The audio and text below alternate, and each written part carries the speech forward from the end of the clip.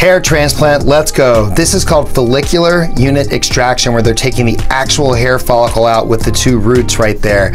So what we do first is we map the scalp, shave the hair, numb the skin, make little pilot holes to place each little plug into each individual hole, and boom, you get a full new head of hair. And no, Dr. Youn, I am perfectly happy with my dome. I'm confident, unlike you.